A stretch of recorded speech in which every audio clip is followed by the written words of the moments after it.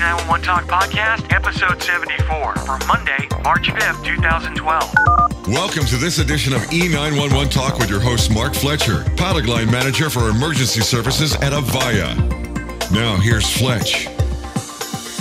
If you're a regular reader of my blogs or a listener of my podcasts, you're probably involved in public safety in some way, or you manage E911 in your company's PBX infrastructure.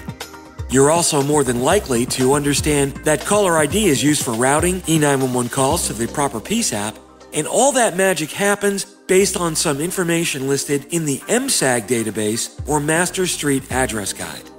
In many ways, MSAG is at the heart of the E911 system today, at least from a routing perspective. Now, with the adoption of next generation 911, we've said many times that telephone numbers and the locations they represent, ANI and ALI, can finally go away. So, with the demise of ANI and ALI, since the MSAG is fed from that data, it in itself is also on a very short leash. At a bare minimum, it'll need to be replaced to realize the full benefit of next generation 911 and routing based on IP location objects and the geodetic data that they'll contain. In the next gen 911 architecture, and even in some of today's local dispatch systems, is something called GIS.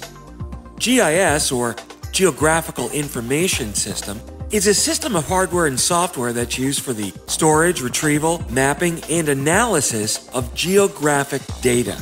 Specific spatial features are stored in a coordinate database that includes latitude and longitude, which reference a particular place on the Earth. Now, associated to this point specific spatial data are associated attributes that can be layered together for mapping and analysis.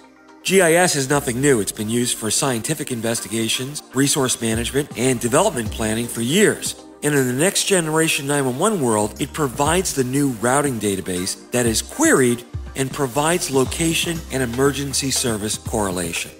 Now, that's just a short description, and there is much more to GIS than just that.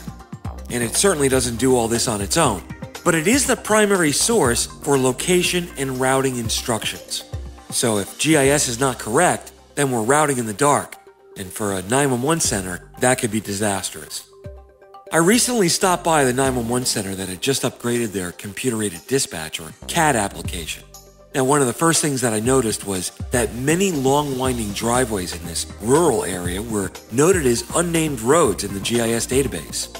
Additionally, some short roads, such as neighborhood cul de sacs, were also listed as driveways. Now, being familiar with the area, I recognize these immediately as long driveways to residences or farms. This is a huge issue for public safety, and the reason why so many resources need to be dedicated specifically to GIS. When a call arrives at the 911 center, whether it's landline or wireless based, the GIS is queried for the reference to that particular place on the Earth. Now, that spatial data fundamentally is comprised of points, lines, and arcs, as well as polygons and define what are known as boundaries. From an emergency services perspective, these emergency 911 service zone boundaries all have unique combination of police, fire, and ambulance jurisdiction, for one. From the dispatcher's perspective, a single police department may patrol an entire town. However, EMS and fire companies may have more specific jurisdictions that they're responsible for. Specific detail about an area can be overlaid on the base spatial data that indicate specific pieces of information. Some of the more common layers include buildings, school zones, as well as primary service areas for a particular agency or department.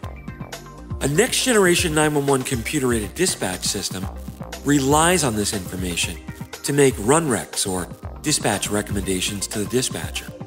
So if GIS is not correct and roads are missing or mislabeled, the entire process of dispatching could be placed in jeopardy. Without a properly maintained GIS database, public safety would be operating in the dark.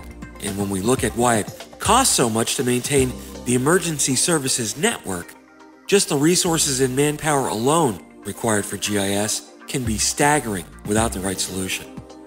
Now, am I an expert on GIS?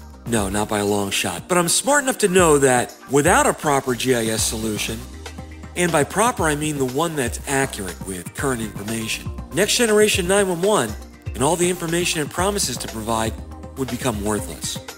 For those of you in public safety you already understand exactly how important GIS data is to your day-to-day job. For those of you not directly in public safety, I hope I've educated you just a little bit to something that's really important and expanded your horizon. You've been listening to the E911 Talk podcast with your host, Mark Fletcher, product line manager for emergency services at Avaya. E911 Talk is a weekly podcast available on sites like this, as well as iTunes, and is available free of charge. If you have any comments or questions, you can email Fletch at fletcherm at avaya.com. That's Fletcher, the letter M, at avaya.com. Be sure to listen in next week for more informative topics on E911.